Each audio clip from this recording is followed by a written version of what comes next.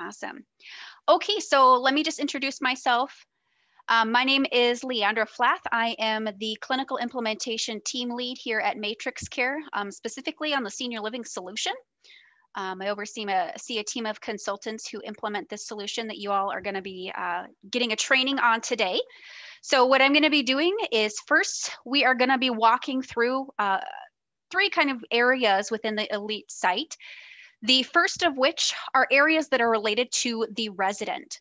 Um, within Senior Living Elite, you'll have the ability to manage vitals, orders, as well as some order sets, and there's some additional face sheet information that you'll, you'll find there as well. However, today we're going to be focusing in on the vitals and the orders area of the resident section. And then from there, there is another area, um, which is going to be the facility area. You might call this community. Um, think of that as the term that's interchangeable here within the solution. And so what we'll be covering under the facility menu is first the scheduler.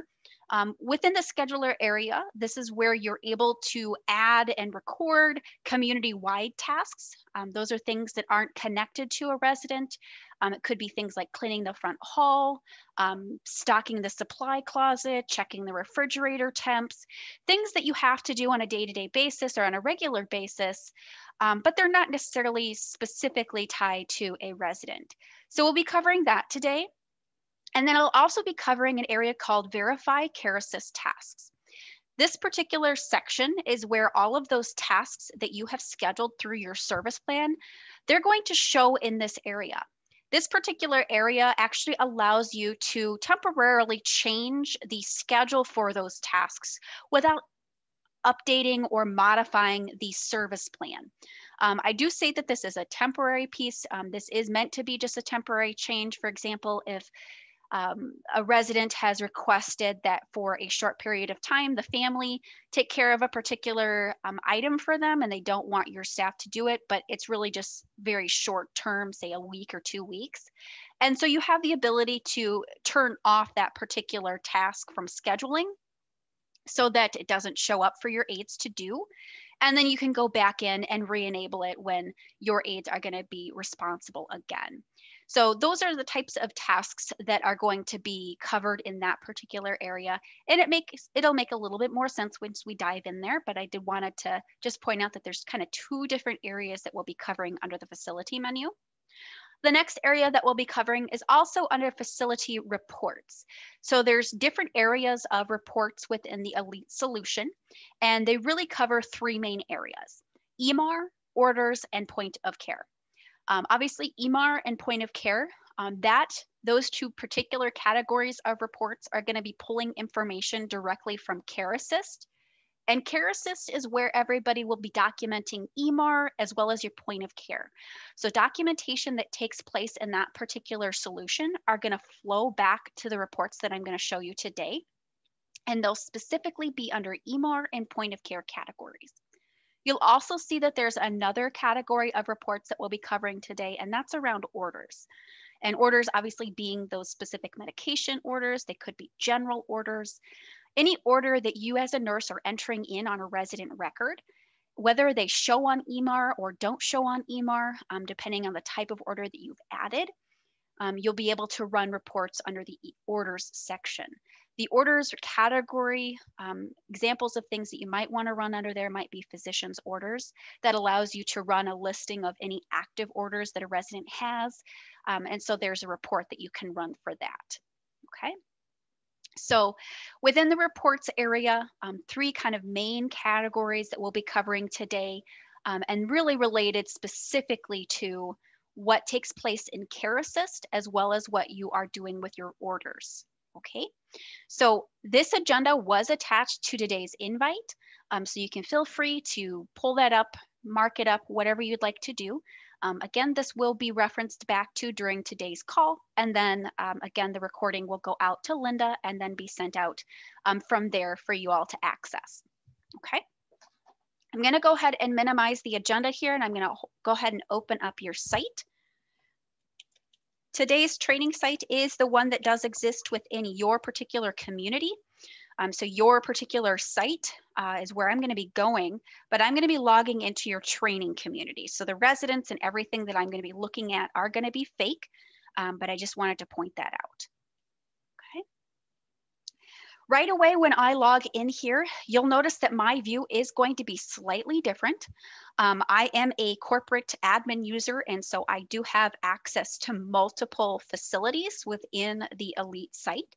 And so when I'm looking here, I'm directed to searching the facility.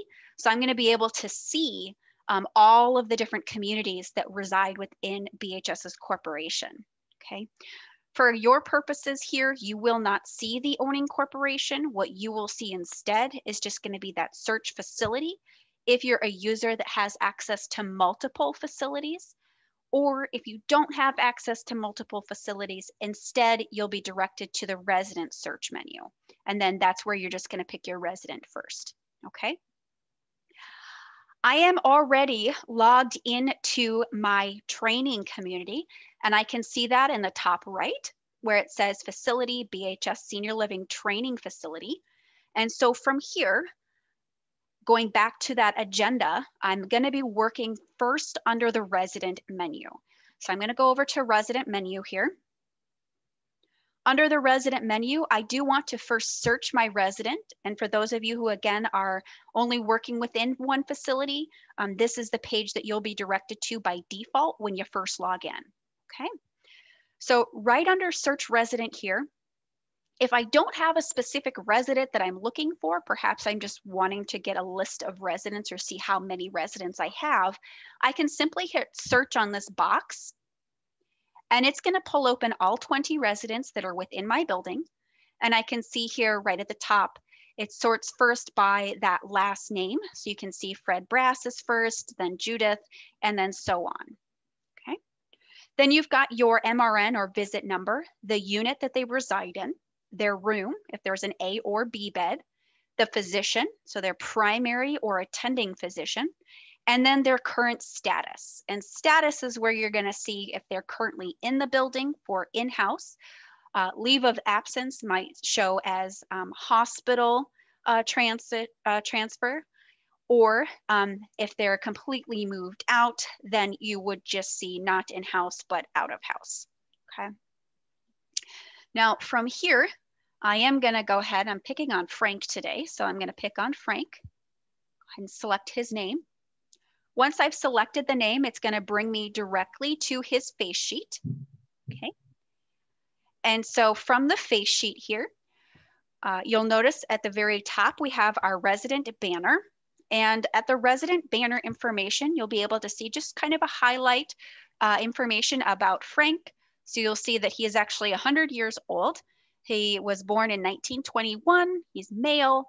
He was admitted in 2010. Currently resides in 103 bed B in the East Hall. He is in-house. His primary or attending physician is Dr. Joe Anderson. His primary payer, he does pay privately for his services. And then over on the right-hand side here, I can see specific allergies. The allergies information, as well as any information you find on the banner here, is going to be pulling from the face sheet here.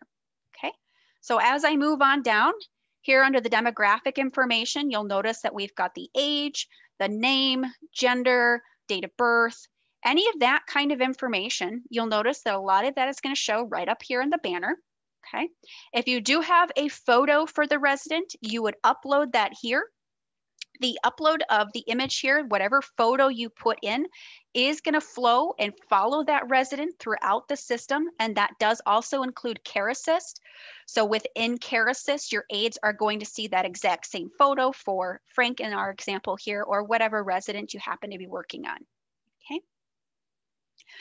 Now, as I move on down this page, I'm going to go ahead and minimize the demographics section. We've also got the census history. Okay, and this is just uh, specific information about admissions, um, referral, discharge information. For Frank here, we only see the admission date. Um, we, it doesn't look like we had recorded any information about where he was admitted from or what his referral source was. So you'll see that the information has been left blank.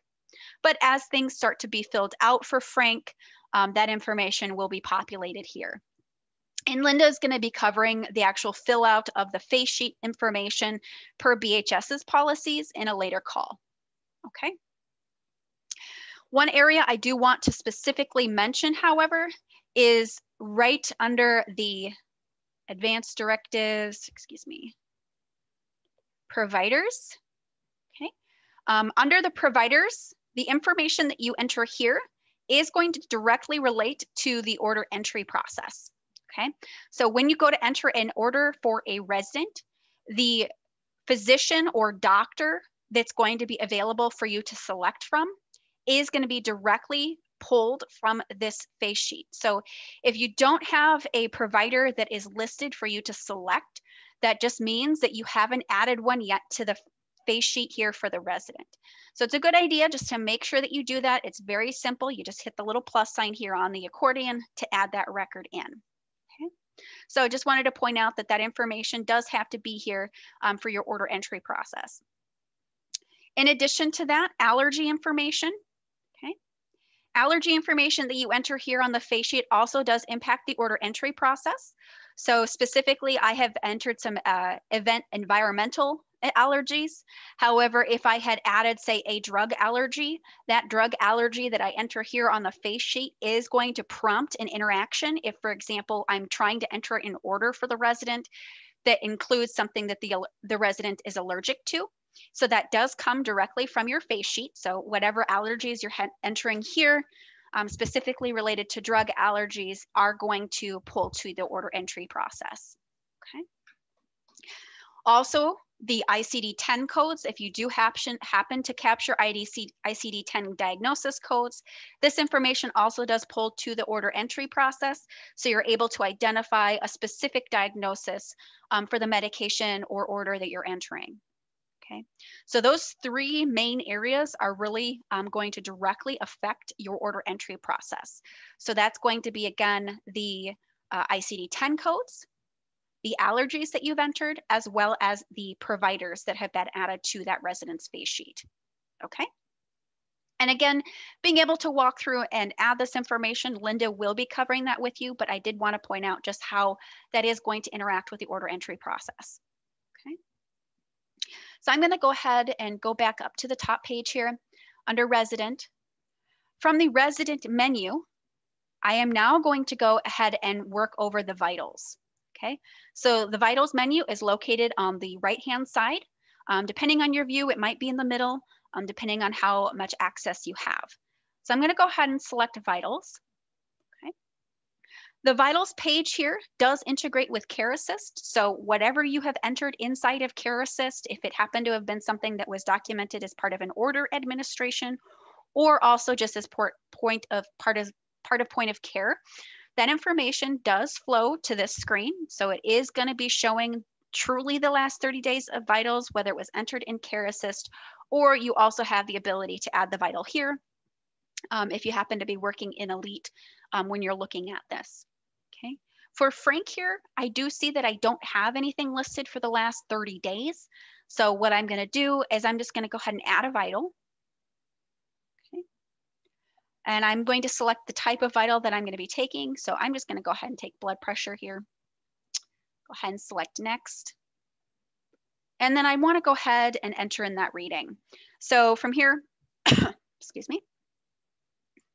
Hmm. Let's do two. Oh, that's very high. Let's do 145. And we'll do 88. Okay. Now the questions that I see here are going to be the same questions that will display in Care Assist. So if you enter it there, it will re require the same entries. Okay, so what's the position for the resident? So this person is sitting, activity level, um, I'd say moderate, location, we use the right arm, and then the type of device, we did use the automatic. Okay. Now with the events and observations, um, these are not used utilized right now. And so you can actually go ahead and skip right over those two um, prompts and go directly to the date time taken and then the taken by. You'll notice that this information does pre-populate for today's date and time, as well as the user who's logged in. Um, so this being me who is logged in is the one that's prompted here. Okay. Now, if I happen to take it, this maybe few minutes ago, but I'm just getting to the system to be able to enter it, um, I can go ahead and update that um, to make it actual uh, valid time or the correct time. So I'm gonna go ahead and hit save here. That's gonna go ahead and add it to the page. So now I'm gonna be able to see that blood pressure. If I go ahead and open up the left-hand caret icon here, you'll get the additional detail about that position, activity, location, and device. Okay, so here I can see that blood pressure. There's one piece here where under the um, out of range vital, okay? Now, let's say that Frank here, um, I do note that I remember I placed a um, diabetes diagnosis on his particular record. And what I'd like to do is I want to go ahead and configure an alert if his blood sugar were to fall outside of a particular range. What that alert does is it's going to prompt my caregivers or my resident assistants or MedTech or whomever might be working in Care Assist. If they go ahead and enter a blood sugar that falls outside the range that I've set, they're going to get a warning message letting them know that that is outside of range. The outside of range alert will also show if you enter the or the vital here inside of Elite, and it's also going to show on your dashboard um, there is a dashboard widget um, where anytime a vital is taken that outside, falls outside of the acceptable range, regardless of what type of vital it is, it is going to show on that dashboard. So it's going to be very visible for you when you log in. You can see when that's happened. In order to set or configure that resident alert, it is located at the very bottom of the vitals page for the resident. Okay. And in here, you'll notice that it defaults to inherit. The ranges that you see here are inherited from the corporate settings, which for BHS, the temperature range is 96.1 to 100. That's the inherited option. If I need to customize here for Frank, I can customize that. Uh, maybe he does happen to, well, that actually fits pretty well. Even if you were, to run a little bit low um, for his normal body temperature, by and large is going to fit within that range. But the one I wanted to look at here was that blood sugar. So I'm going to go ahead and go to the blood sugar one. There's blood sugar. And you'll notice again that it is inheriting. But what I'd like to do is I'd like to customize this for Frank. Okay.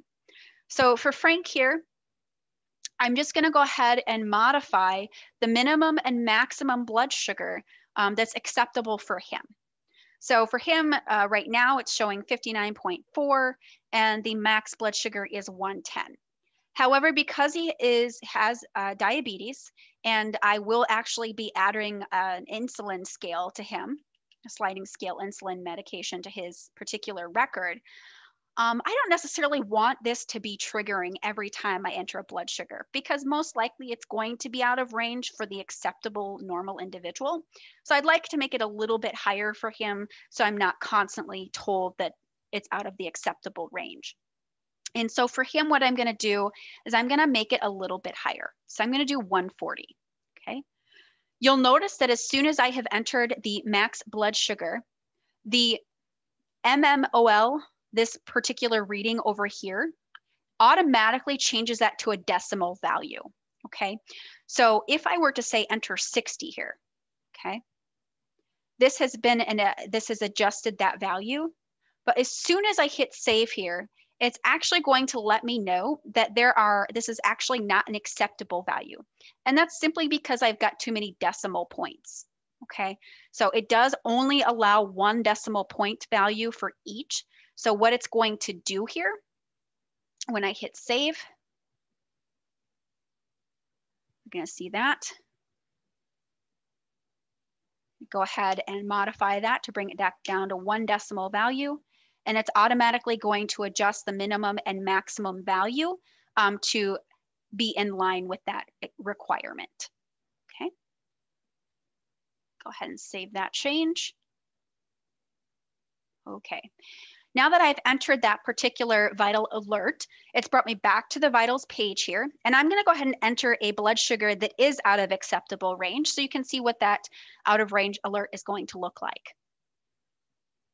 Okay. So I'm gonna go ahead and select blood sugar. I am gonna actually do 160, okay? And you'll notice right away, I get a yellow banner in red letters, vital out of acceptable range. And it does also provide to me what that minimum and maximum value is. Okay, I am still going to move forward with this entry. And then what I'm gonna do here, this is high. And then down here, um, this is correct. Let's actually do 12, 20, 122. Go ahead and save that, okay? So it does notify the user right when they're doing the entry that it is out of acceptable range. And it also displays on this page indicating that that value was out of acceptable range as well. Um, so you'll be able to see in red as well as that little um, warning symbol with that triangle. Okay. If there are um, more than uh, last 30 days, maybe you want to search for a value or a vital that was entered two months ago, for example, or you're wanting to see a trend there, you can actually go ahead and select to search vitals, okay? And let's say I'd like to see the vitals for the blood pressure, and I'm searching specific dates. So for me, I am gonna go ahead, I'm gonna look back at the month of November. Okay, uh, date taken, um, vital type I've already selected because I did select blood pressure. Okay, that is the only one that I've taken so far for Frank. And so that is the only one that displays.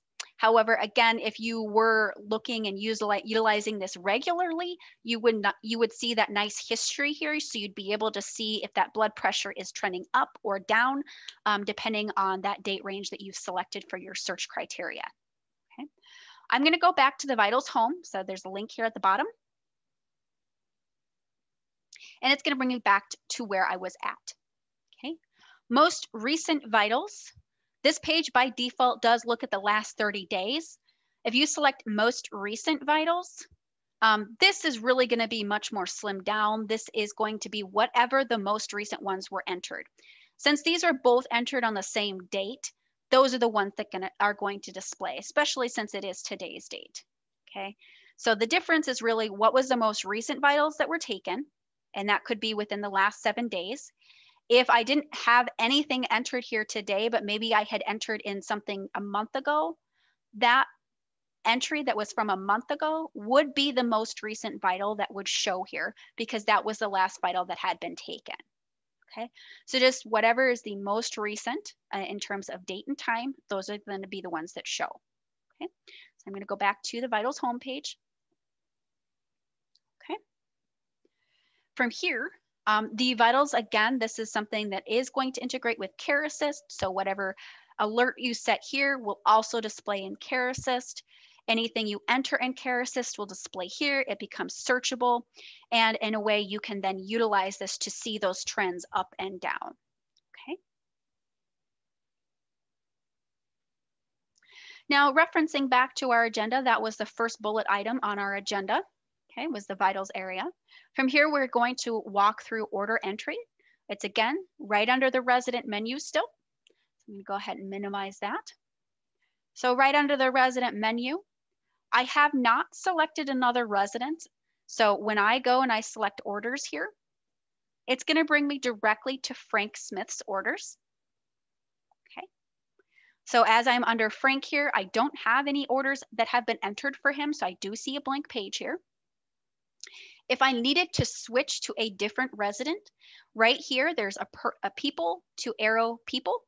Um, this is actually allows you to switch residents. So what that's gonna do is it's going to bring you back to that search residence page so you can then select a different resident. Okay, now I am totally fine using um, Frank again, so I'm just going to go ahead and search for him. There he is. And again, will bring me back to the active orders page. Okay. On the orders page here, you'll notice that I've got an add order button. And then I've got some links down here at the bottom. Okay. As you actually start to utilize and enter orders in, these links are going to become much more important. So I'm going to go ahead and add a few examples of orders and then we'll cover the links here at the bottom. I'm going to go ahead and add one order here. Under the type, We have prescription, general, lab, radiology, and you'll actually see here that there are uh, standing orders, admission order sets, antibiotic order sets, Coumadin, warfarin. So depending upon the type of order that you are entering, um, you can select from the type values. Okay. Um, for me, I do want to go ahead and enter in a prescription order. Go ahead and select prescription. By default, the pharmacy that is on um, our residence record here for Frank is Anderson Drug. And so when I open that provider drop down here, that is the pharmacy. So that's the one that defaults in my selection here. When I go ahead and select next, you'll notice it has tell it's telling me that drug to allergy interactions will not trigger. And that's because drug allergies have not been defined on the face sheet. So this really goes back to that face sheet information. I had only entered environmental allergies for Frank. And so as a result, I'm not gonna get any allergy interactions for the drugs that I'm entering. Okay. I am gonna go ahead and accept and move on. Okay. And the first order that I'm going to enter is gonna be a Novolog. So I'm gonna go ahead and do an, a sliding scale insulin. Uh, so there's the flex pen. Okay. Go ahead and select that. Once I've selected the particular drug, you'll notice that the receive date and start date default um, to today's date, along with my username, since I'm the one that's currently logged in and doing the entry. If these dates need to be modified, maybe I received this today, but it's not supposed to start until tomorrow, I can change that start date. I also have over here where I can select to leave it open-ended. Or if there is truly an end date on this, maybe this happens to be an antibiotic and it's only a 10 day regimen, I could go ahead and enter that end date for 10 days. This isn't gonna be an open-ended order though, so I'm gonna go ahead and select open-ended. Okay. You'll notice here we've got drug name. The fields that are in bold become required, but you'll notice that a lot of them are already pre-filled out. Okay, so that received date, start date, received by, drug name, form, strength, and route. Okay, and then we get here where we've got our frequency. Okay, for Novolog here, I do want to actually enter in a per sliding scale. And so you'll notice here the system does give me the option to select per sliding scale. And that option is only given because this is an insulin. Um, and so the system does recognize that and gives me this option. Once I select it, okay, I am gonna go ahead and select the ranges. So if the blood sugar is less than a certain blood sugar value, um, so let's say lower than 60, um, call MD. If blood sugar is between say 60 and 100, give two units. Actually, let's not do that. Let's do 100 to 150. And then I can actually use this plus sign over here. What that allows me to do is add a next range value. And that's actually gonna take that last value that I entered, automatically add one point, and then have that be the starting value for the next range. That just ensures that you don't have any gaps in the range um, so that you're actually giving the correct unit. Or when you get an, and enter it in a reading, it has the units available for you to uh, know what to give. So this is going to be 200.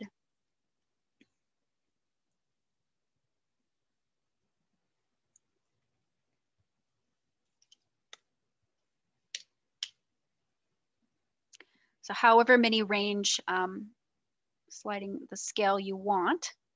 So we'll do 300 here, eight.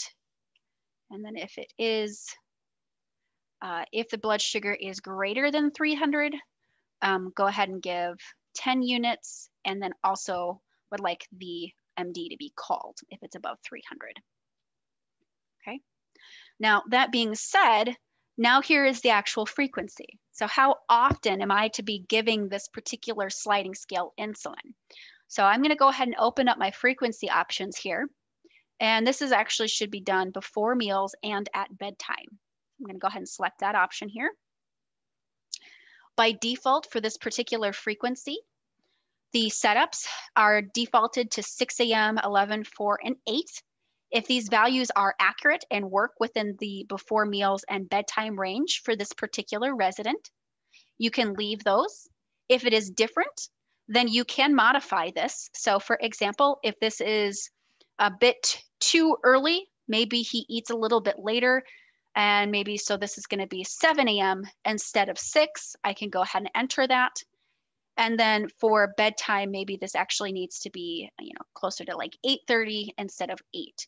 You can adjust the time values here if you need to for this particular resident. Okay. And then as I move on down, these special instructions.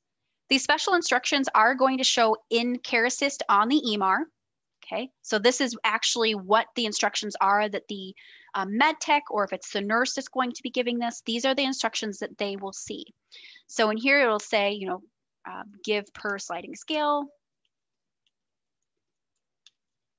Um, depending on the detail of this particular entry, what you've got on the order from the physician, um, you can add that detail in here, or if it's less, you use more of just the general give per sliding scale as I've entered here, you can do that as well.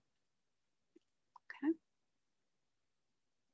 The entry within uh, Care Assist, the information that I've entered here under the sliding scale range, that will also show in Care Assist on that order. So this area is going to display for the user, so they'll be able to see exactly what those, um, what that scale is and how many units to give. Okay.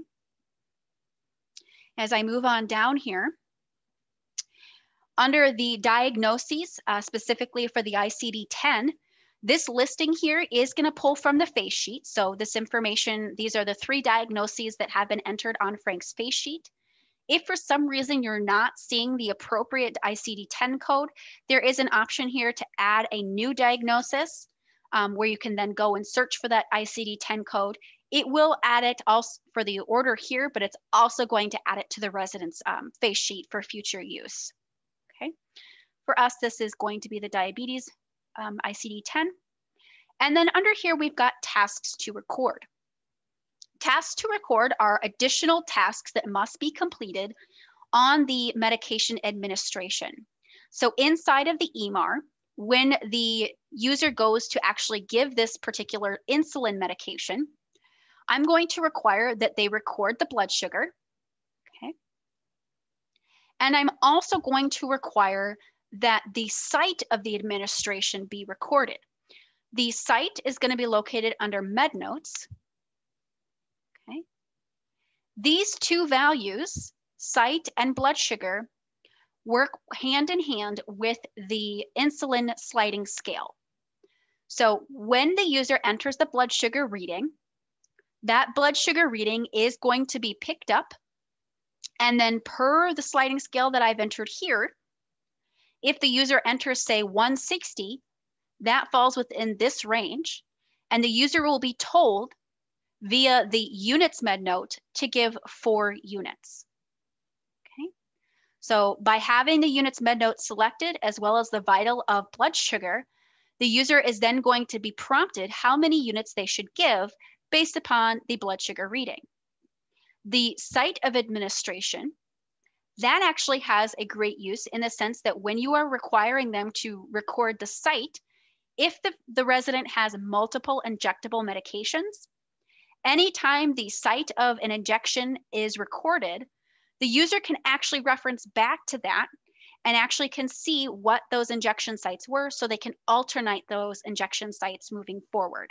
So for example, Frank, if he has also say a B12 injection, uh, both medications would want to have the med note of site added to those orders. And then regardless of what order the user happens to be looking at, they can always look at that um, vitals injection or last injection site option to be able to see and alternate that injection site. So these two options here really have a great impact in how things show in Care Assist and the additional prompts that the user is going to see and get. So I'm going to go ahead and select site here. As I move on down, the flow sheet here, it does default to the medications flow sheet because I did say I did select prescription when I went to add the order. Under the flow sheet here, there are several other options. So in here, I can see what those other options are. So whatever flow sheet is most appropriate, if this happens to be a medication or an order that a nurse, only a nurse should administer, you'd want to assign that to that particular flow sheet. If it were something related to a COVID-19 task, you would want to assign it to that particular flow sheet. The flow sheets actually allow the user to filter different orders in the EMR. So they can actually focus in on just those nurse only administrations that they need to do, or if they want to look at all COVID 19 related administrations, there's some filtering options that are allowed by selecting the appropriate flow sheet here on the order. Okay. For our purposes, medication is the most appropriate, so I'm going to go ahead and leave that. Ordered by, you'll notice here it actually has defaulted and that is simply because Joe Anderson is actually the primary physician here for Frank. And you can kind of still see that here in the banner. So that's coming from the face sheet there. Okay. However, you'll also see that there is an additional provider that's listed in that drop down. So on Frank's record here in his, actually on his face sheet, he has an alternate physician, um, Mark Johnson. And so if he does have alternate physicians, if you've got additional providers that have been added um, outside of the primary, they'll still be here in this list to be selected, um, but by default, it is gonna select the attending physician first. Okay. Order source. So did we receive this particular order via phone, verbal, or written? Okay. And is there any pharmacy directive? So does this need to be dispensed as written? Is substitution permitted? What is that particular option? Okay. And then I'm gonna go ahead and select next. It's gonna ask that I review this. And it looks like here I've got an order with a sliding scale requires a unit med note. So it's letting me know that I'm actually missing a key med note. So as I move on down here, there's site, and then here's units. Okay, so I wanna go ahead and add that one in. If I had not selected site, that would also have been a required option or med note. So again, the user will be prompted to add that, but it is just helpful to know that those do have very key impacts on the actual administration of the order too. And as I move on down here, I'm just reviewing what I've entered previously. Go ahead and select next here.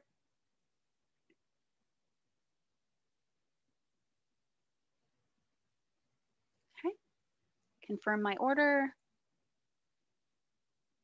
Okay, and then I'm gonna go ahead and hit save.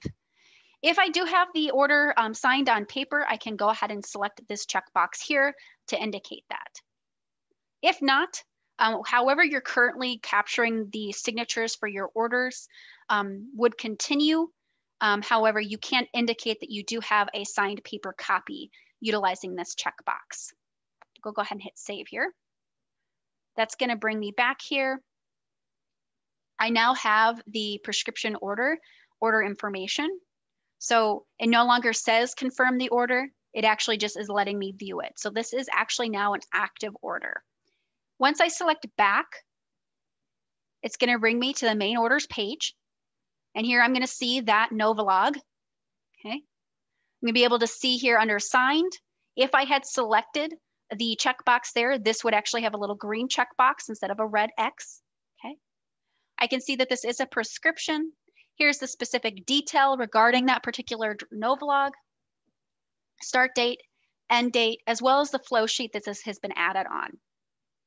On the left-hand side, you'll notice that there is a big red DC. This is actually the discontinue button. If I needed to discontinue this order, I would simply select the DC op uh, option it is going to bring open that particular order. I would select the discontinuation received date. So if I received it today, but this is actually, um, you know, DCing uh, by Friday or for example, um, then I would select that.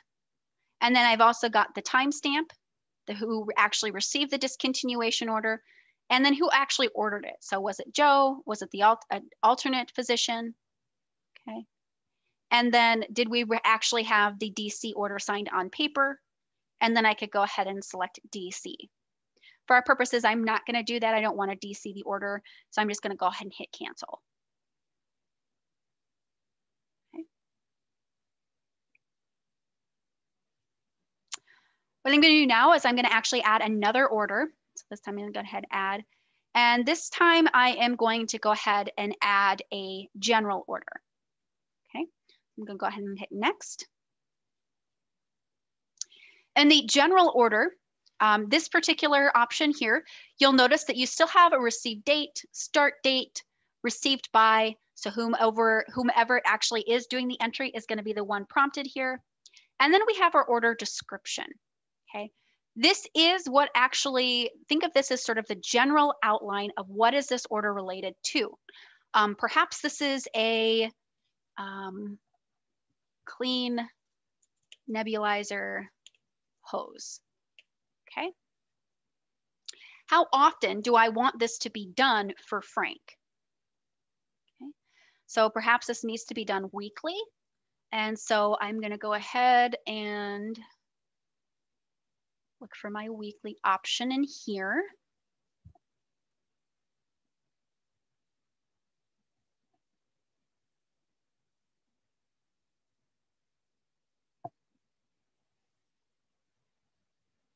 Interesting. Okay.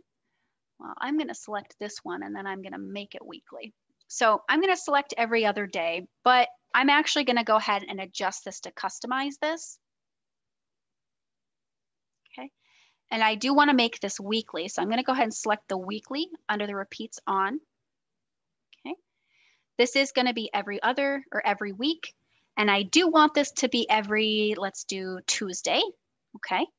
So the way that this is now set is every Tuesday at 5 p.m. Okay, I am going to have a general order to clean the nebulizer hose. This general order will display on EMAR. Okay, and so this is a way for you to see that order alongside the other medications. So if you happen to do um, an inhaled antibiotic or inhaled medication, um, you might want to clean the nebulizer hose um, kind of right around that same time or right after the usage. So in here, um, special instructions. So this is, you know, how would you like this person to clean the hose?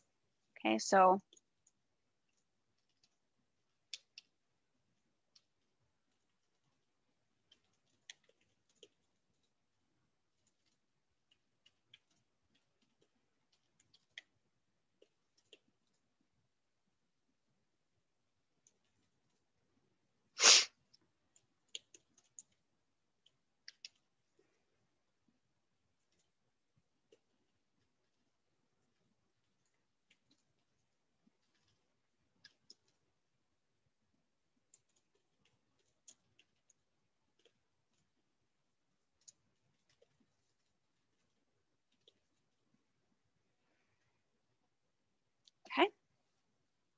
And so from here, I can go ahead and enter those special instructions. If there is, again, a, an associated diagnosis with that, I can go ahead and select that as well. And then for this particular purpose, there isn't really any task that would be required in terms of a vital. And if I go ahead and I look at these med notes, there isn't really anything on this either that I'd like to add. Um, this is really just something I want them to indicate that they have cleaned the nebulizer hose. And so no additional tasks with this um, but I'm gonna go ahead and assign this to a particular flow sheet. This is just a general order, so I'm just gonna go ahead and put it on a general flow sheet.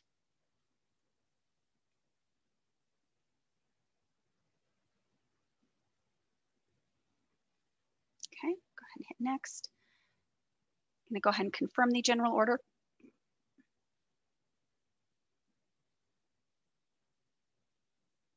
Okay, and go ahead and save. And so from here, I can see again that general order right alongside my prescription order. Okay. Right at the bottom here, as I had started adding orders, there is some additional links that became available. Okay. The one that I really want to highlight here is this amend administration. Okay. This amend administration is really only available per key users. So you do have to have the security to be able to utilize this area here. And I'm actually gonna go and I'm gonna swap my resident. I wanna select someone who's actually got some orders. I'm gonna work on Walker.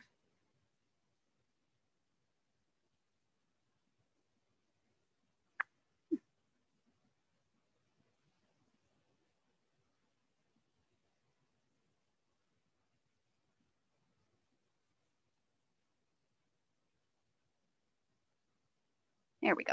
Okay, so Helen's got some orders in here. Okay. Now, as you start to utilize Care Assist and you're giving medications through the EMR, if you need to go back and modify an administration, that is done directly on this orders page right at the bottom using this amend administrations. So if I go ahead and select that, I would first want to search for the particular order that I need to amend or the administration I need to amend. I'm going to go ahead and look for prescriptions, search. Okay. These are the prescription orders that Helen has. And right here, if I need to amend, say, um, this particular a medication that was given for acetaminophen, right? So you'll notice it's by drug, not necessarily by administration time yet. I want to amend an administration for acetaminophen.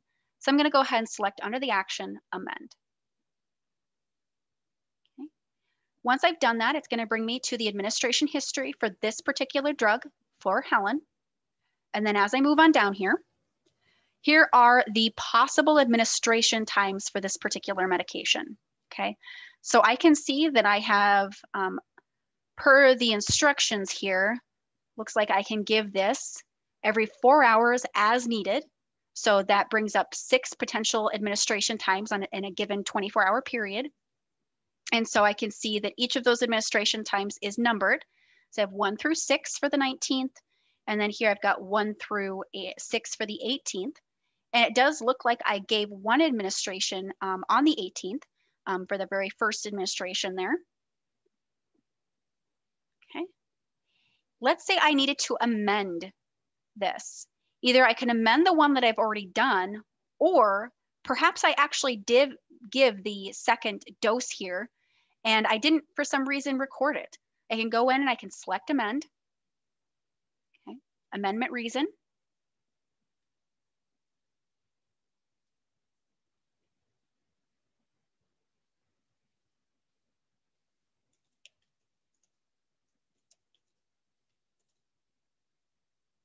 Okay, um, this is actually prepped. Okay, and let's say the, it was just simply charted late. And then as I move on down here, what's the reason? So why was this uh, medication given? Um, we'll go ahead and say it was again for pain. Okay. PRN reason comment. Again, kind of keeping in mind that if you have uh, in bold, those are the required fields. You'll notice a couple in here. Whenever you select a PRN reason um, or a late reason up here, you'll notice it's going to bring open that particular option here. So why what is that pain? So perhaps Helen had a headache. Headache unresolved from first administration. Okay. So we gave that second administration medication. And as a result of the second administration, it was actually effective. So I'm going to go ahead and record that this was effective. And then I can say, you know, if there's any PR, additional PRN comments, you'll notice it's grayed out. If I select other, that then becomes required because I do need to provide additional detail. However, this is effective, and so I'm just gonna go ahead and select that. The PRN result code or result option here does not then become available. The options again that you see here under PRN reason, um, results, the administration, this information is also available within Care Assist. Okay. However, it is only available when actually documenting that you have given the medication. If you do need to go back and adjust an administration that is now missed, this would be the way that you need to do that is again through this particular page on the orders page. Let's save this. Okay, looks like if I'm looking here, didn't look in the late administration here.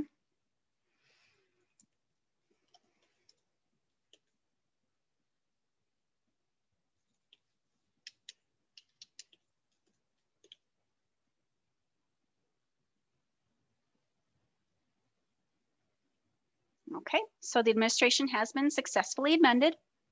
And so now as I'm looking here, I can see the first administration that I gave, okay? And then here, uh, we gave a second dose uh, because the headache was unresolved from the first administration. And so um, as a result, though, this was effective. Okay. Now from here, this is again, only if you need to amend an administration. I'm gonna go ahead and get back. Go ahead and view my active orders here. This can bring back me to the main page. Okay.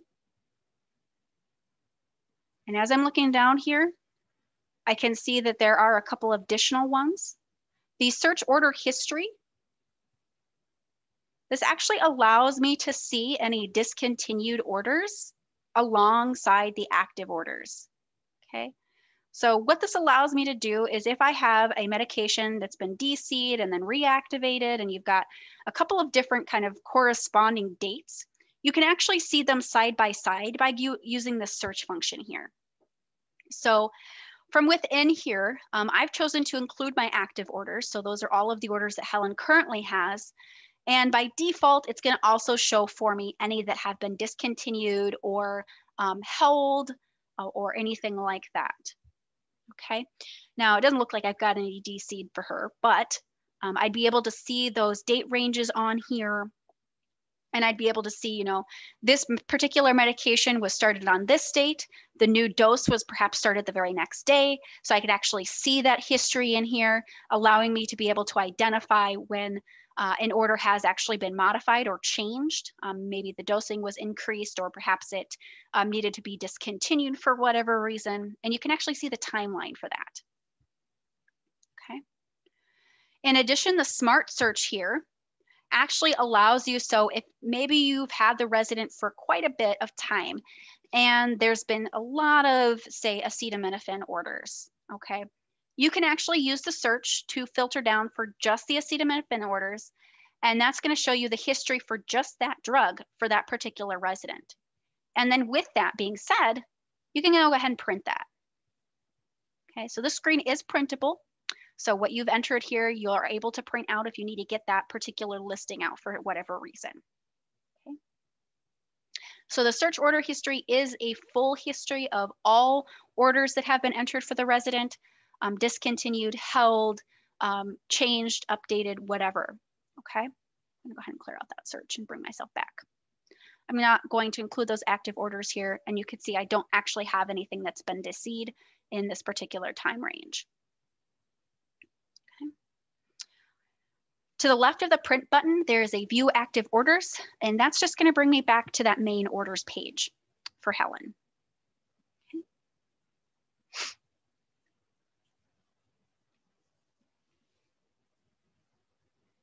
Awesome.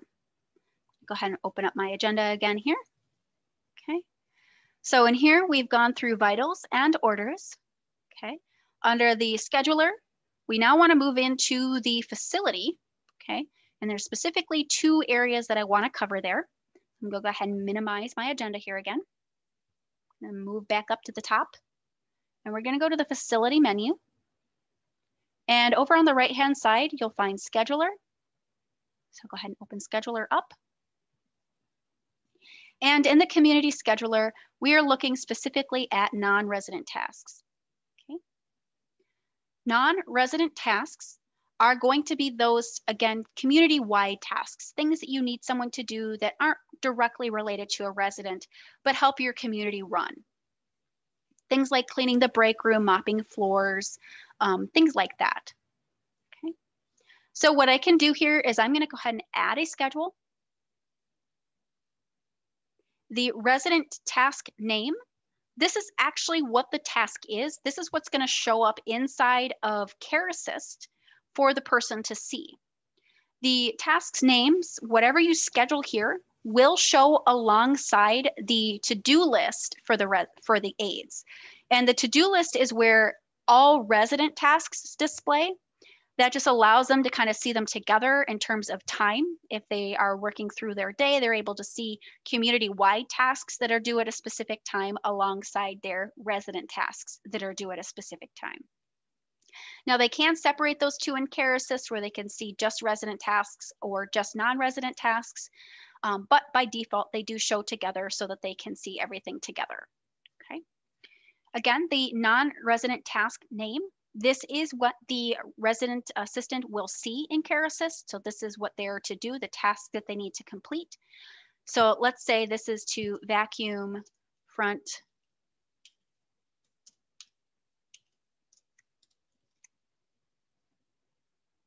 I am not spelling correctly there.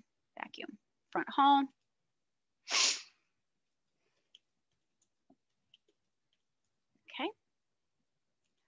And then as I move on down, the category for this particular task.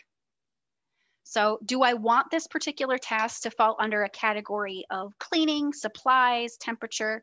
Which category fits the task the best? And for this, it is cleaning. So I'm gonna go ahead and select that. And then when would I like this task to start? Um, I'd like this to start right away. So I'm gonna go ahead and select start date today. Um, I don't necessarily have an end date in mind for this. This is something that I'd like everybody to continue to do on an ongoing basis. So I'm gonna go ahead and leave that open-ended. Okay. And then right here is how often I would like this task to be completed. So for here, I do want this to be done on a daily basis, but I'd like it to be done um, in the afternoon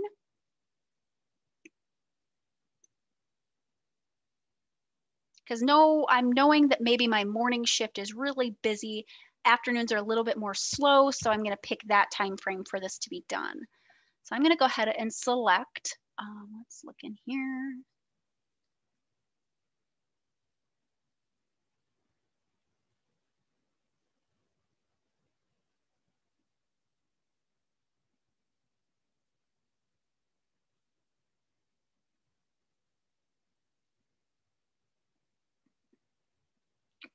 I'm going to do that evening and then I'll just adjust the time here. So I'm going to select every evening. And this I'd actually like it to be just during shift one, or excuse me, shift two. Um, so I'm going to go ahead and select shift. I'm going to change this to shift two, and that's the 3 p.m. to 11 p.m. Okay. Now, I think my residents might get annoyed if I have my people cleaning at 11 o'clock at night with a vacuum. So I could adjust that. So maybe I do want to, you know, second guess that. I'll go back to the time slot. And let's actually do about 3.30. Okay, so we'll do 3.30 for this. So this is gonna be every day at 3.30 p.m. I'd like someone to go in and vacuum the front hall on the east wing. Okay. As I move on down here, under task assignment, do I want this to be a community-wide task or something that's going to be by work list? If I select community, I have two options. One common task created for all care settings. And that means if I have a community that's got, say, um, well, for your purposes, you just have the community with an AL or IL. So you would pretty much just be using this one. Okay, so a separate task is created for each care setting. And so what that means is that each of these care settings has to complete that particular tasks. So there's two tasks really. The AL needs to complete this for their East Wing and the memory care has to complete it for their East Wing. Okay. If it's one common task, what that means is it doesn't matter who does this. Maybe there is only East one East Wing and I don't particularly care if it's an AL RA that does this or a memory care RA that does this. I just want that completed and I don't necessarily care which person from what care setting does it. Okay. If I go by work list instead, I have the same two options in terms of one common task or two separate tasks. But with the separate tasks here, it's by work list, okay? Since this task is specifically directed at the East Hall, I really only want this task to be showing in the East Hall work list.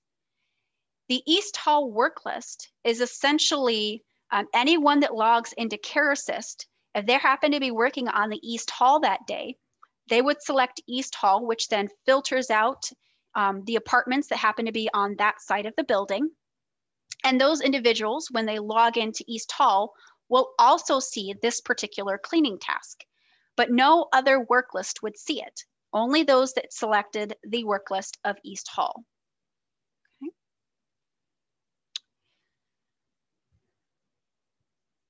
So uh, really up to you on your preference there and how you wanna schedule these out. Um, for us, I am gonna go ahead and just select East Hall for that though. Okay.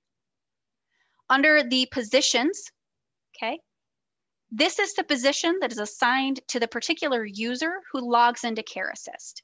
Okay. So let's say I am a director of nursing. I've logged into the East Hall. Okay.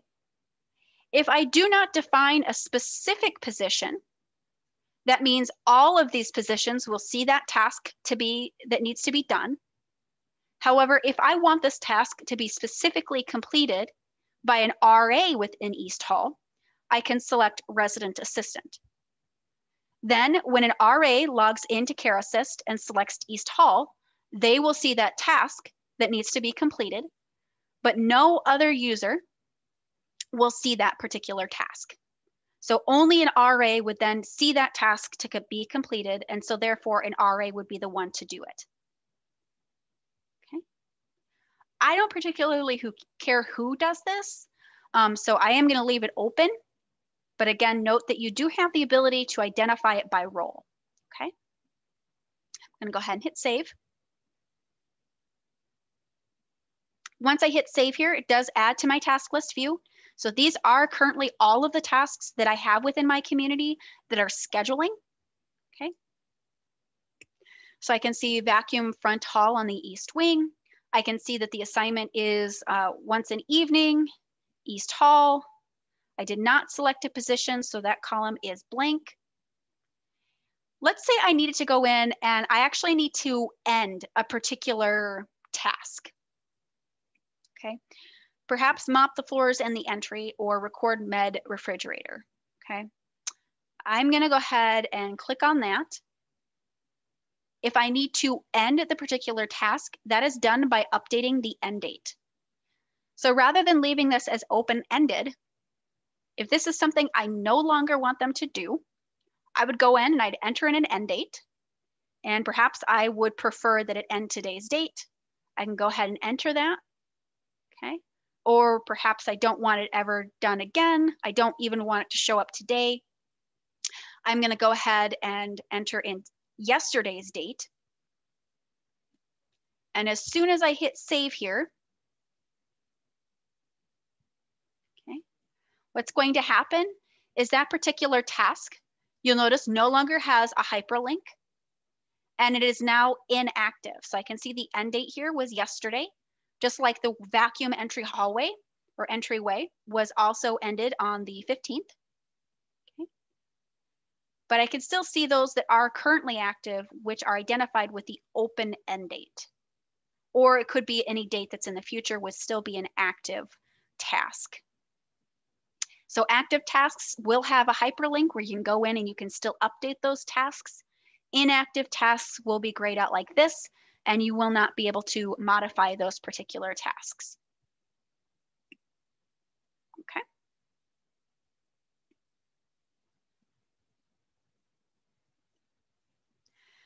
From here, what I do want to do is I want to go ahead and walk through the very next section, which is under that facility menu. Okay. We just covered scheduler and specifically the non-resident tasks portion of that scheduler. And again, that's the community-wide tasks. And now I'm gonna go to verify care assist tasks. The verify care assist tasks page by default will appear as though it is blank. So you'll see here there are no pending tasks schedules exist for this particular community. And that's all also um, actually because of this little checkbox. If you'd like to see currently assigned tasks, then you want to go ahead and select this checkbox. The page will update and any resident that currently has tasks scheduling inside of Care Assist will display on this page. You'll be able to see the resident's name. You'll also see the effective date of the service plan that is driving the tasks inside of Care Assist. If you open up any one of these accordions, you will actually be able to see the individual tasks that are scheduling. So for Fred here, I can see that he does have quite a few tasks in here. Um, given my page view, I am uh, not going to zoom out, just I want to keep the text a little bit bigger for everybody. But there would be quite a few as I kind of scroll down, any task that's currently scheduling inside of Care Assist um, that's coming from that service plan for this resident. So in here, I can see this very first one. We have a bathing task. Uh, it falls under the ADL category. We have our task details here uh, assist with bathing, showering, and it's a partial to total assistance. Okay. I can see that uh, it's expected to take 30 minutes. Um, I'm to assist them with washing back lower extremities, drying off, and also to observe for any skin issues and report those to the nurse. The frequency that's been set is over here. I can see that this has been scheduled for weekly on Mondays and Thursdays. And I can see that for Monday, I specifically set a 10 a.m. time uh, in shift one. So I can see both shift one and 10 a.m. display. Okay. I can also see for Thursday, it looks like it's 8 a.m. and shift one were selected. Okay. For this particular item here, for weekly tasks, you will actually see one line for each weekly task. Okay. So looking at this frequency here on the right under assigned frequency, you'll notice that this says every week on Monday at 10 a.m. And that relates to this one here. This one down below, every week on Thursday at 8 a.m. relates to the second weekly task, which is the Thursday 8 a.m. task here. Daily tasks do not display like that.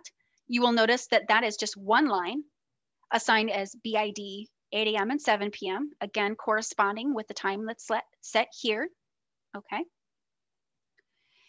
The reason for that is let's say that for this particular bathing task on Thursday, we need to just adjust that Thursday's task. We don't need to do anything with Monday's task, only Thursday. Again, this is meant for temporary changes. So what I can do is I want to select the task I would like to adjust. So I'm gonna go ahead and place a checkbox in here. And then right up above, select the frequency. So for this one, it's still going to be weekly, but I actually, um, I need to adjust the, actually, yeah, let's still do weekly, but I'm gonna adjust the specific day of the week okay?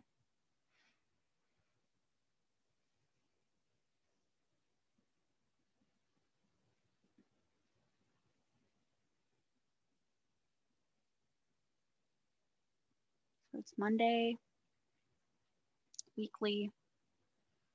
Let's do Friday, okay? And this is not necessarily a time range is what I want.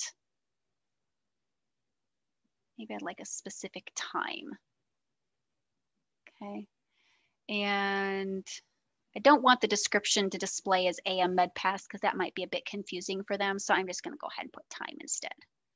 So this time it's going to be Friday at 6 a.m. Okay.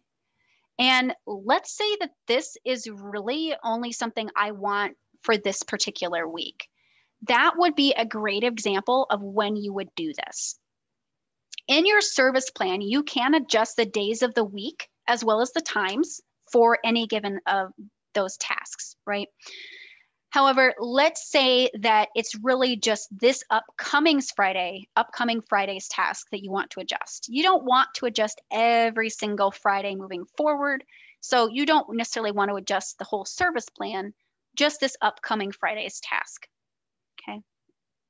That would be a great example of when you would come here and look at just that Friday and then, or Thursday, excuse me, adjust it from Thursday to Friday, make it the specific time that the resident has requested, and then you want to go ahead and apply that to the selected tasks.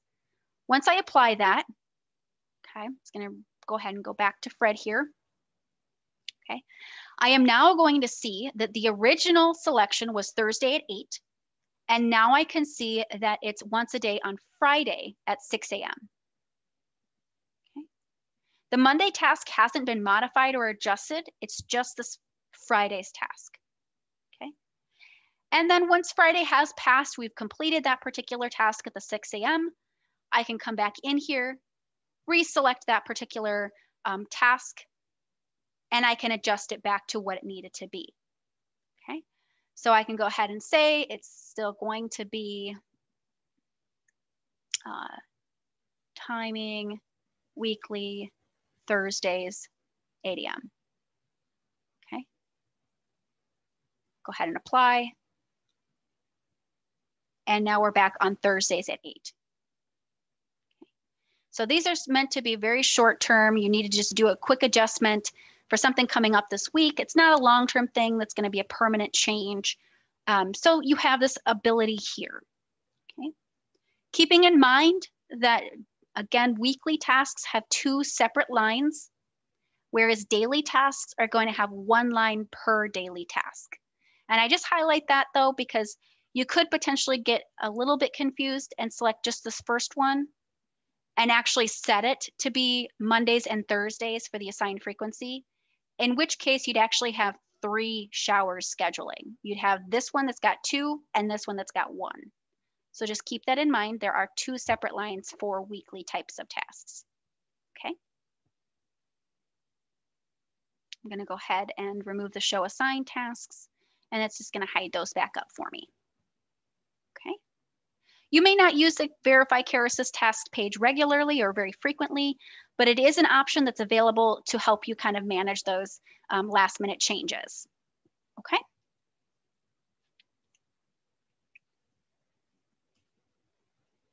Okay. Now the last little bit here is to really cover our reports options. Um, before I do that though, I do wanna open up the line for questions for anything that I have covered so far. Um, if you do have questions, please go ahead and unmute your line um, so we can hear each other, okay?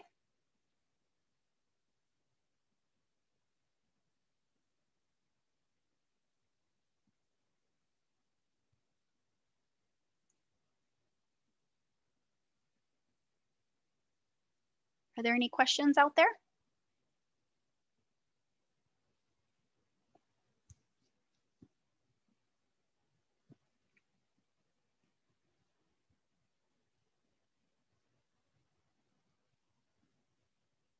Okay, not hearing anything here. Okay, so I'll go ahead and minimize the agenda here and we'll dive into reports.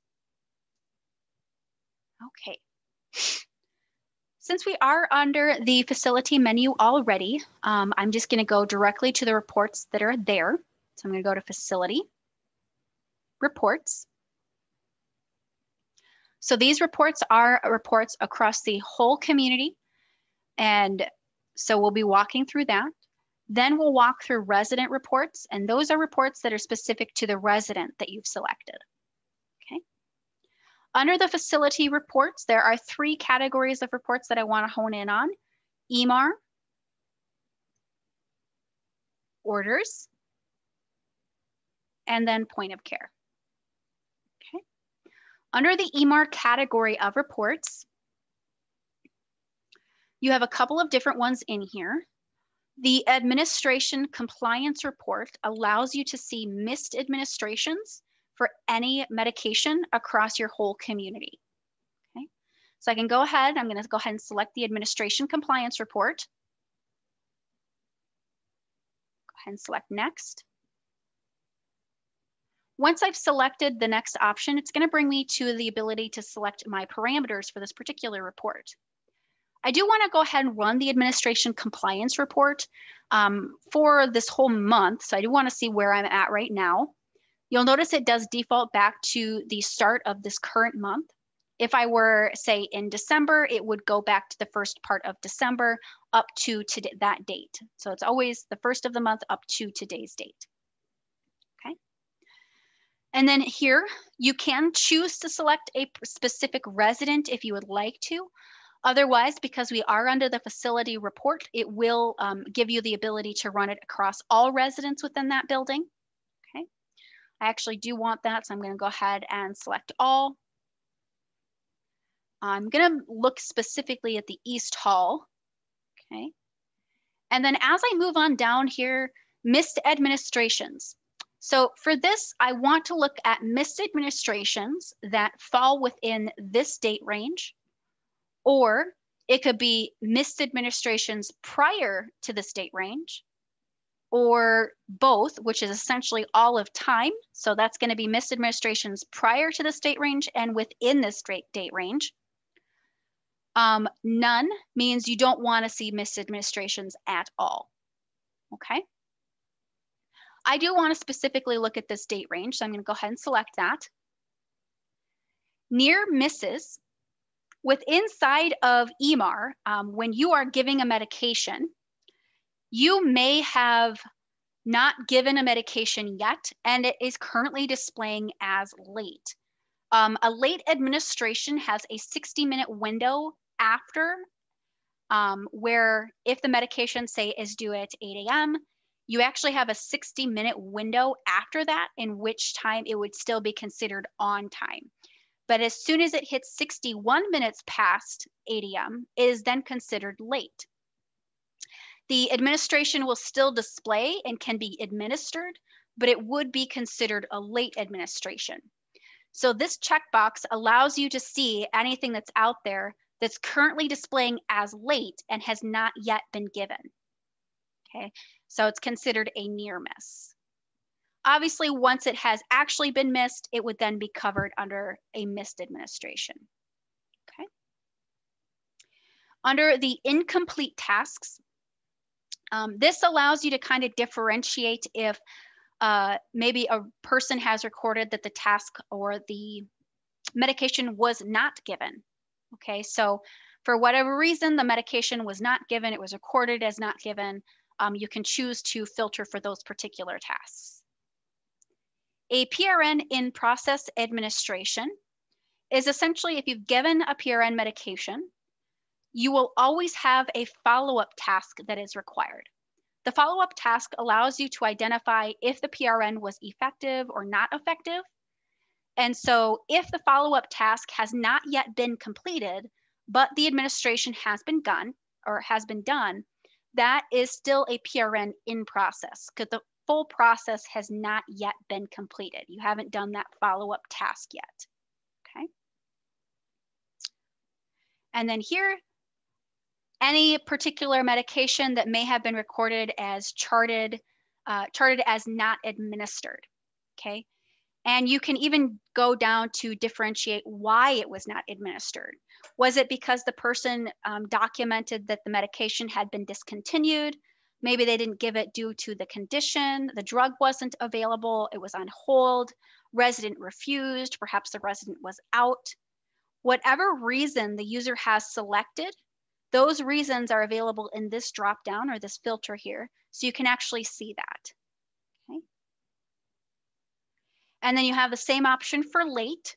So if a late administration was documented, why was it late? Okay.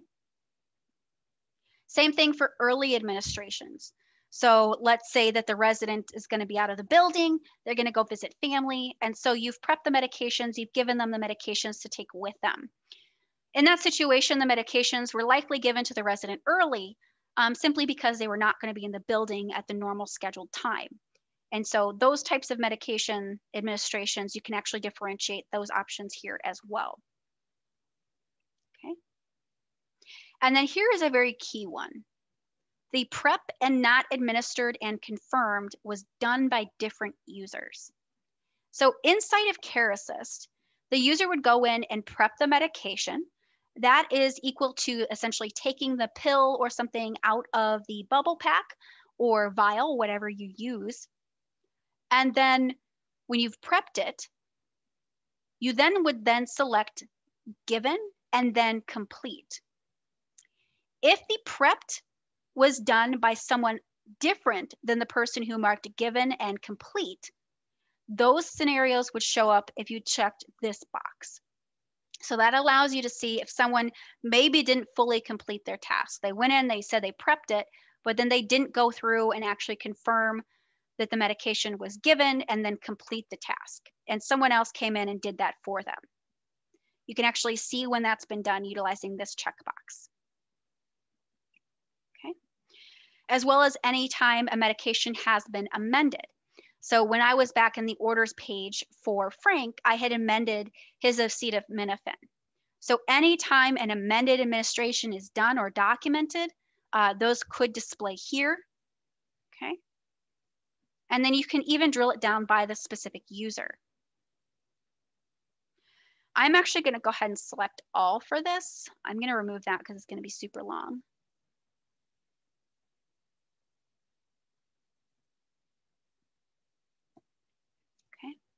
I uh, do like to sort by residence. I'm gonna leave it that way. PDF's good. Go ahead and hit report. This is gonna be a pop-up window. Okay. You'll notice it just lets you know it may take a little bit to uh, load. Okay. And so when I'm logged in here, this is a missed administration. So all of these administration times and medications were missed in this period of time. So when I'm looking at Fred here, um, I'm gonna zoom in. Okay. So when I'm looking at Fred here, I can see uh, in-house from 1-1 to 119, okay, for Fred. And I can see that we're currently looking at missed administrations for Fred. For his acetaminophen, it's given uh, two tablets four times per day. And so as a result, I would see four administration times on 1-1, the first of which was six, then it looks like it's 12 p.m., 4 p.m., and 9 p.m. All four of those administration times are missed, which is why they are displaying under the missed administrations. Now, if you want to do it as a little bit uh, smaller view, um, I can go ahead and close that particular one. And maybe I'll just actually look at today's date, make it a little bit smaller. Okay.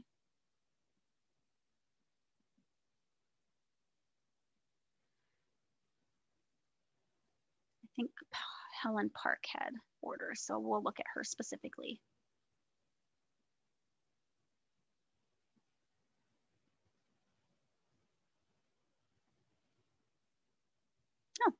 Nothing missed as of yet today.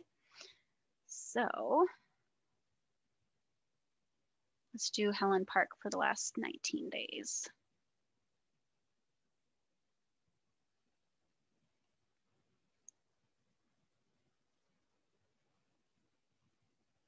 Okay.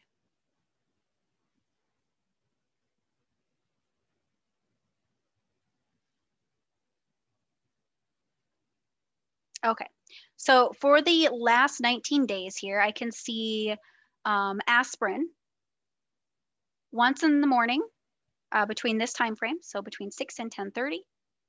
These administrations were all missed, okay? And so as I'm looking in here, it looks like I've got quite a few missed. Missed administrations. Let's see if she's got any near misses. Anything that's listed out there is late.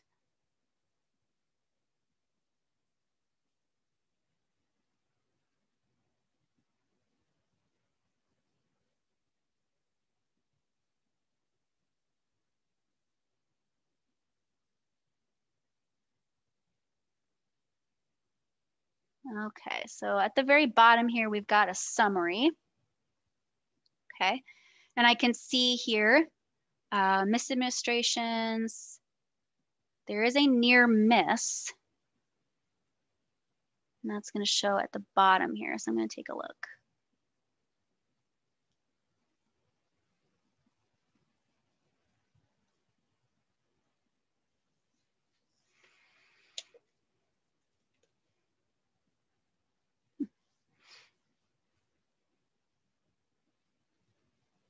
Okay, no different user options, uh, no amend in this particular piece here.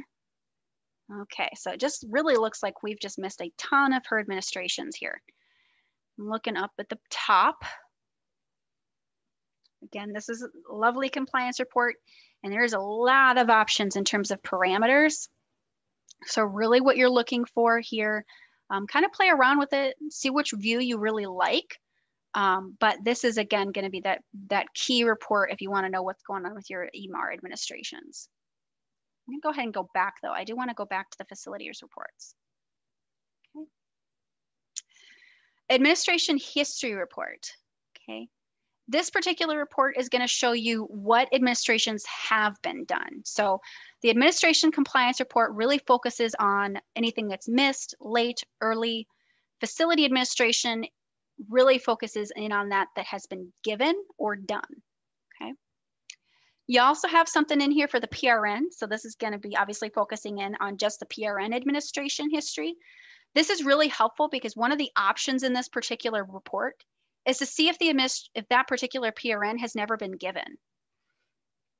Okay, so I can come in here and I can look, there's one option in here. PRN status of not used. So I can actually come in here, I could say, I wanna look at any PRNs that have not been used by residents within this time frame, okay? So I can come in here, I can see, okay, it looks like I've got everyone in here. And, uh, yeah, that's good. Let's do a page break by resident though, make it a little bit easier.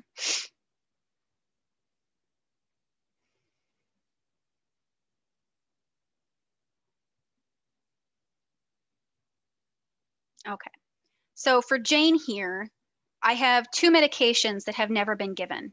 So at least not in this time frame that I'm looking at. So there's milk of magnesia as well as the nitro.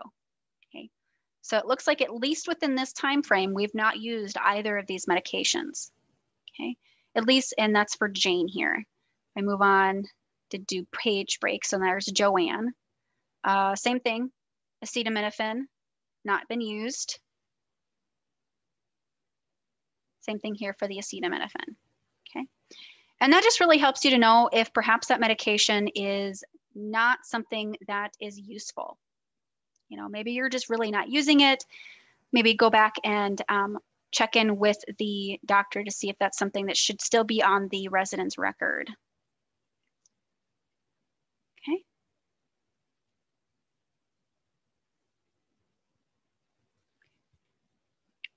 I do want to move on to the orders area. So under the orders category, the one I really want to look at is physician orders, okay?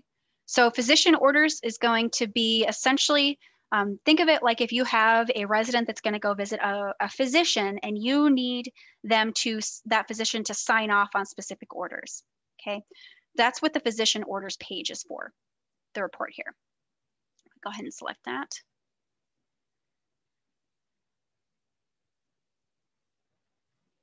active residents only. So you can run this by your specific resident, or if I'm looking in here, I wanna see what are the physician orders that I've currently got out there.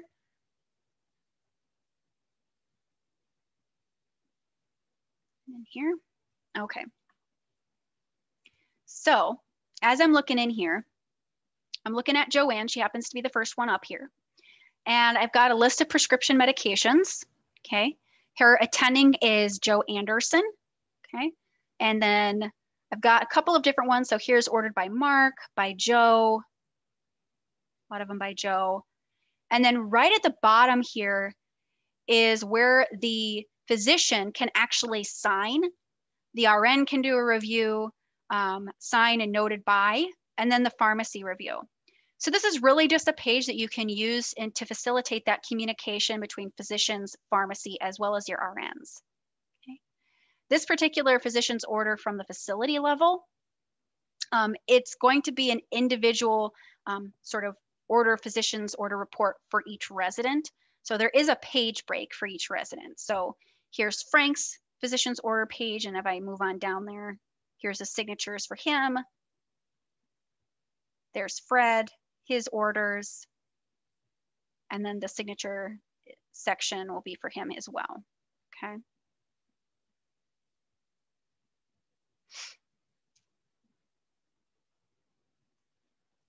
Ahead and go back here.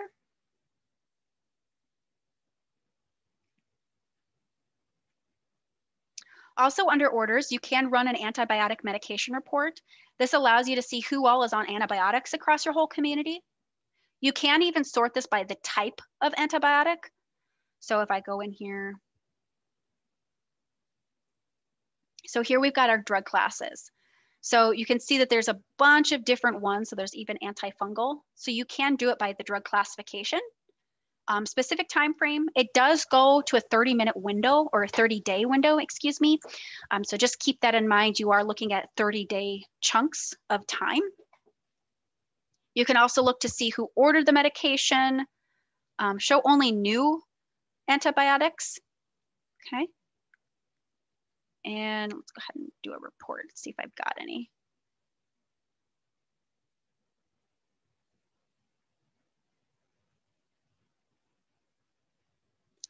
Okay. Let's not do the new. I'll just do all of them.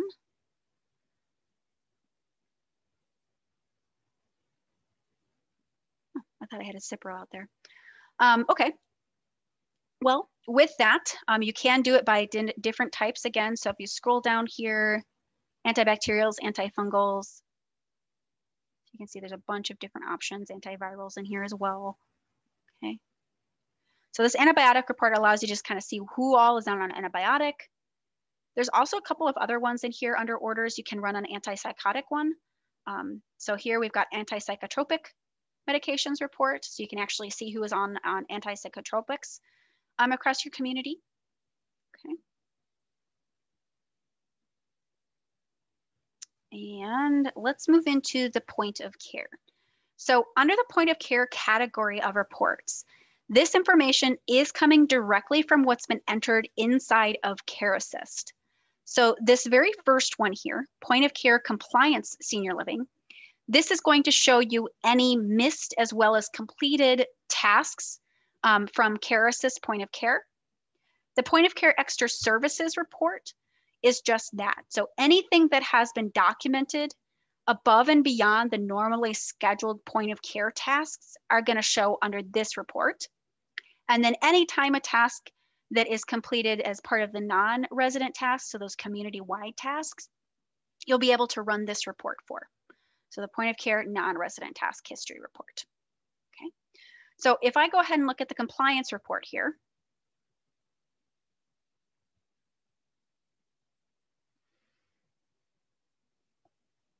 let's go back to last week. Just gonna do one day at a time though. So we'll look at particular resident. I do want all task categories. And then right below here, I can actually say, would I like detail, summary, or detail and summary? I'm gonna go ahead and include both so you can see what the difference is. And then right here, it is, and what you'll find most of the time is most of the these reports do come only in the PDF format. There are a select few that do have the Excel format option, um, but this one is just a PDF. So go ahead and hit report.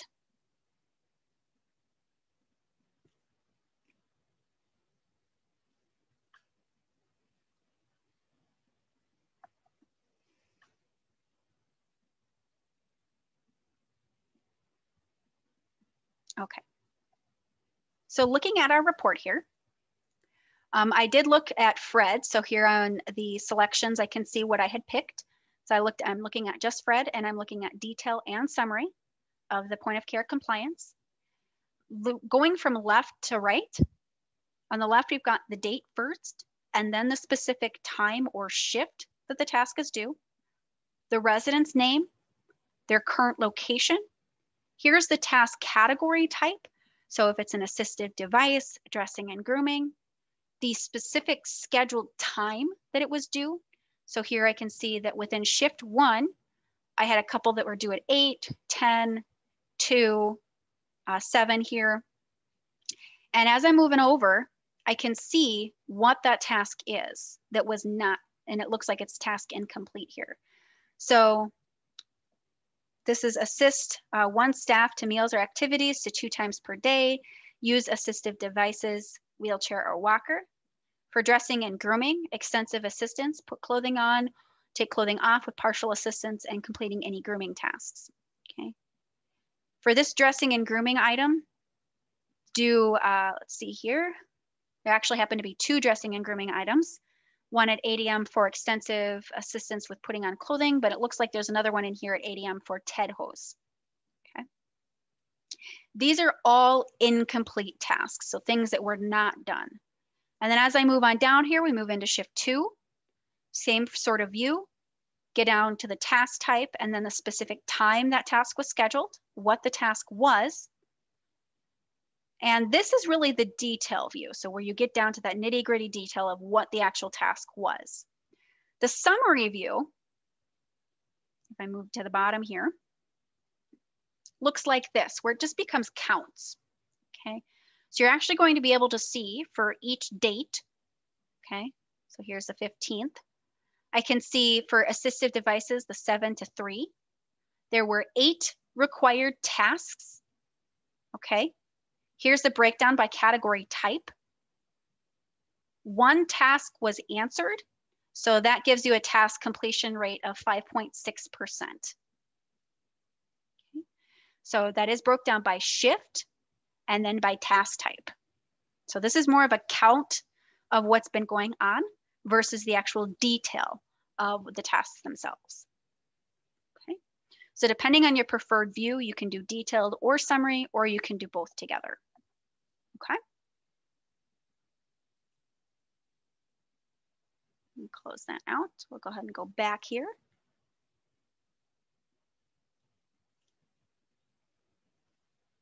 Okay.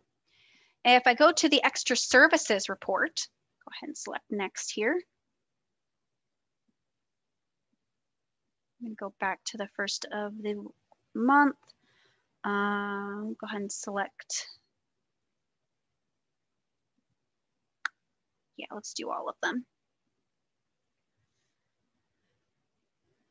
I do want to actually choose to include uh, actual minute totals.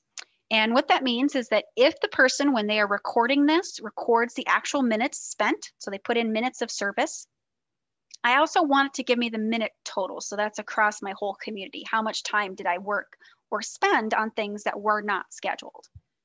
Okay, go ahead and hit a report here open up that pop-up window.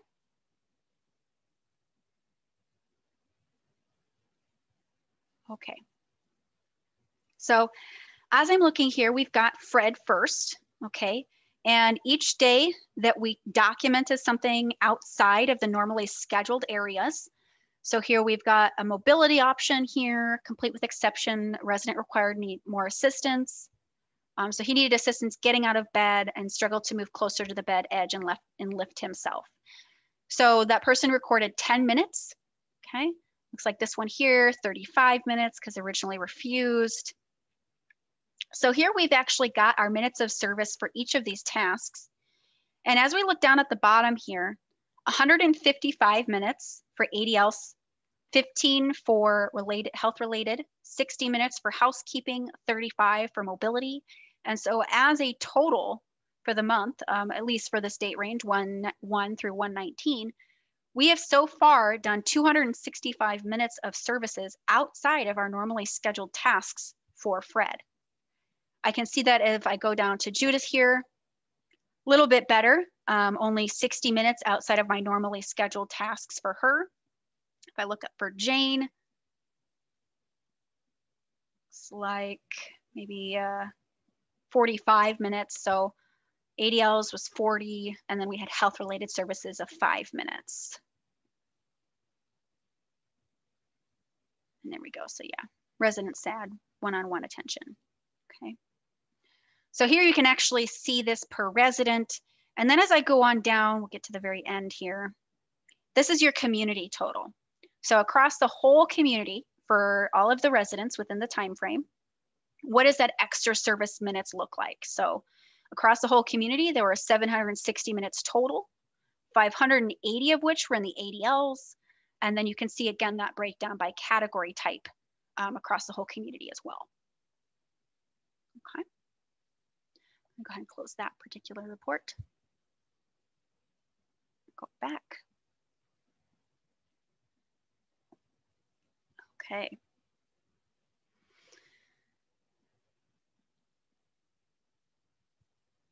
Awesome. Okay. So that does actually bring me to the end of our training for today. Um, so I do want to go ahead and uh, open up the lines here. Um, any questions about what we've covered so far? Again, we will have another training next week. Um, I believe it's next week specifically for Care Assist. Um, it might be a different week, but I apologize if I'm incorrect on that. Are there any questions about today's training? Anything that I've covered so far?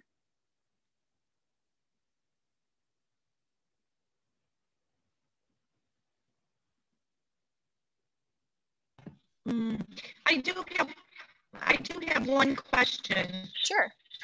How do you um, create alerts on a chart, such as if a patient is a DNR on Coumadin, a seizure disorder, is there a way to put alerts? So the alerts, it's not for those particular pieces. Um, we do have banner flags that can be added. Those actually show on the, the banner themselves.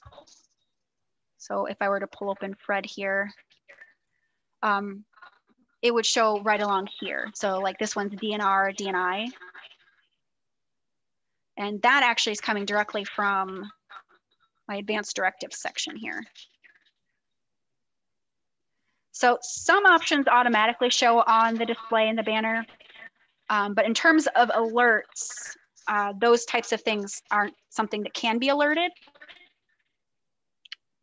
Um, but I know that Linda has a couple of additional pieces that she wanted to walk through with you. So um, those particular things are something that I believe Linda will be covering with you because there are specific BHS policy pieces that she covers with everybody. Okay.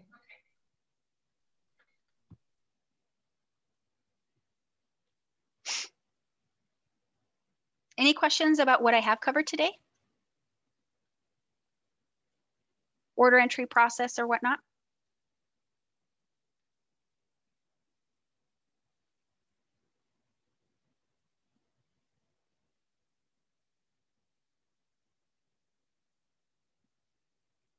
Okay, well, great then. What I'll do is I'm gonna go ahead and stop the recording.